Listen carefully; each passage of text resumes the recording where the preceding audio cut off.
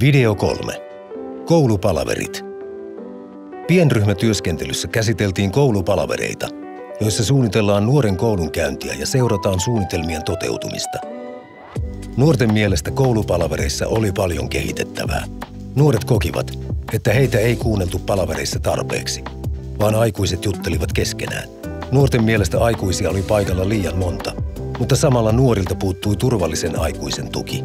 Asioita ei myöskään aina käsitelty nuorta kunnioittavalla tavalla. Esimerkiksi kiusattu saattoi päätyä psykologille, mutta kiusaajalle ei tullut minkäänlaisia seurauksia.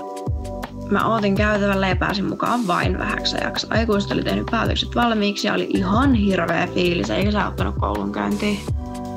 Nuoret toivoivat, että heidät kutsuttaisiin palaveriin henkilökohtaisesti ja hyvissä ajoin.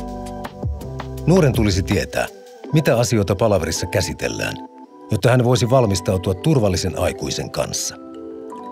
Tietämättömyys aiheuttaa usein jännitystä ja pelkoa. Olisi hyvä kysyä myös nuorelta, mistä hän haluaisi puhua palaverissa ja miten hän haluaisi itseään ilmaista. Yläasteella rehtori kuulutti keskusradioon, että voitko tulla sinne ja sinne, että varmasti kaikki kuulee. Siinä sit kävelet kaikkien aikuisten kanssa ja tunnet muiden oppilaiden katseet selässä.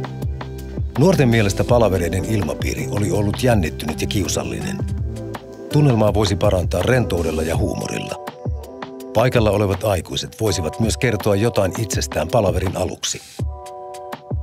Palaverissa tulisi edetä nuoren ehdoilla. Esimerkiksi voiko puhetta johtaa etäisen ammattilaisen sijasta nuorelle läheinen aikuinen? Ja mikä olisi nuorelle turvallisuutta luova istumajärjestys? Asioiden käsittelylle pitää varata myös tarpeeksi aikaa. Nuori voi olla paikalla palaverissa tai läsnä esimerkiksi videon välityksellä.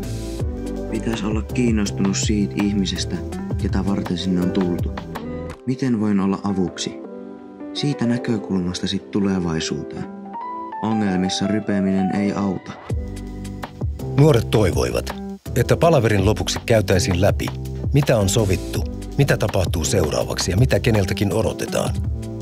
Koulupalaveri tulisi lopettaa positiiviseen vireeseen, vaikka palaverissa olisi käsitelty rankkojakin asioita.